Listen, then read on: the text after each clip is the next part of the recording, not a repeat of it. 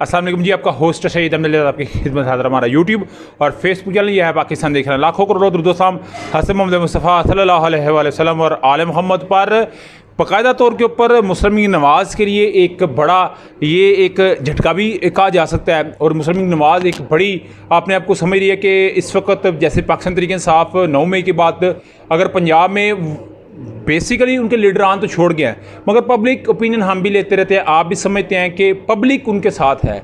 इमरान खान साहब के साथ वोटर इस वक्त खड़ा है। और कहा जाता है कि वोटर सपोर्ट है। मगर मुस्लिम नवाज़ ही समझते हैं कि उनके लिए बड़ा ये प्लस पॉइंट है।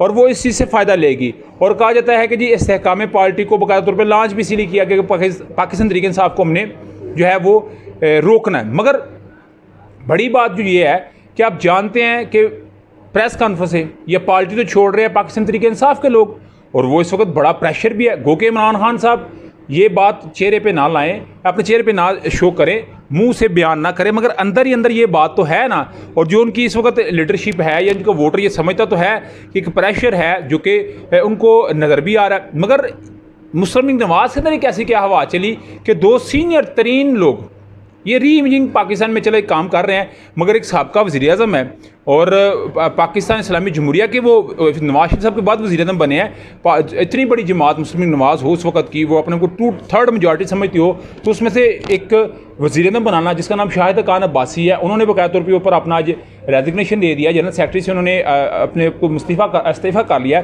शबाज शरीफ साहब का उन्होंने शुक्रिया अदा किया। नवाज़ शरीफ साहब के साथ उनकी इंग्लैंड में मुलाकात हुई, मगर वो कोई कारामद ना हुई, वो नाकाम रही, इसलिए वो सारा जो है स्नैरियो बना, और मेरा ख्याल एक बड़ा ही, बहुत बड़ा नाम इंतहाई बड़ा नाम। और रजीम चेंज के अंदर जितना उनका करदार रहा है, किसी से डका छुपा नहीं है।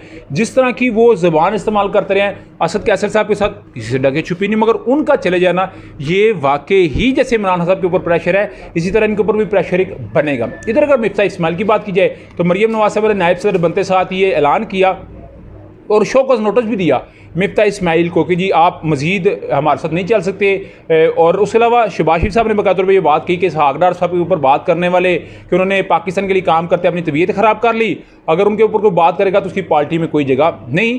मिफ्ता इसमाइल और शाहिद खान अब्बासी, ये वो हैं कि जिन्होंने एल एन जी एक मनसूबे के अंदर बकातौर पर अपने ऊपर एफ़ आई आर भी ली।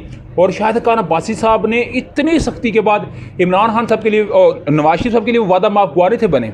मगर अभी वो निकल के गई है तो डेफिनेटली उनके अंदर के दिल की बातें होंगी मिफ्ता इस्माइल के दिल के अंदर की बातें होंगी। वो चेहरे पे लाएँगे, वो क्या करेंगे, ये एक बड़ा सवाल जो है, वो डेफिनेटली हर एक की ज़ुबान पे है, मगर उसका आंसर तो यह मिफ्ता इस्माइल, या शायद खान या को मुसमिन नवाज़ जो है, वो अपने तर्जमानी की सूरत में करेगी। मगर एक बड़ी जो अपडेट थी मुस्लिम नवाज़ के लिए, ये एक बड़ा जो है मेरा हाल है दचका मगर वो जिस वक्त इस अपनी सिचुएशन में खड़ी है और जिस तरह नवाज़ साहब की अभी और दुबई के अंदर मुझे ये था कि लैंड कर देते, मगर उन्होंने लैंड ना किया, उनकी एक सिचुएशन बनी है। और नवाज़ साहब ने बाकायदा तौर के ऊपर दुबई में अपने डेरे लगाने हैं, मगर उससे पहले उनका ये होना, मगर उनको भी इतना पता है कि अगर वो लंदन से दुबई आए तो उसको पता है कि मेरी जमात जो है वो कहाँ पर खड़ी है। तो डेफिनेटली इसका मतलब मैं आपको बताऊँगा।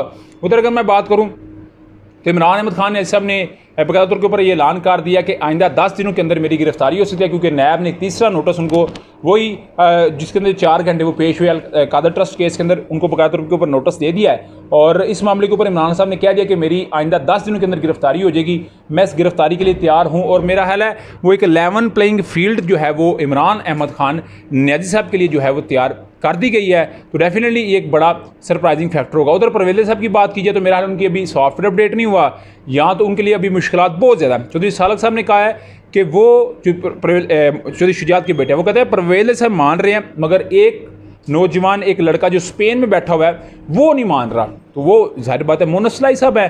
तो बाप, बेटा और बेटा बाप के लिए जो है, इस वक्त स्टिल खड़े हैं और स्नैरियो जो है, वो आइंदा रोज़ बरोज़ जो है, वो पाकिस्तान तहरीक साफ़ के लिए मज़बूत, यानी कि तनाव बड़ा बड़ा होने जा रहा है। और जो परवेज साहब है, उनके लिए मजीद मुश्किल सत्तर साल बुज़ुर्ग इस वक्त खड़ा है।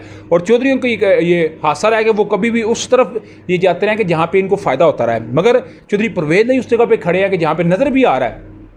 यहाँ सबने खुद ये बात की है कि मेरे ऊपर मुसलसल मेरे ऊपर काटा लग गया, मगर ये फिर भी खड़े हैं।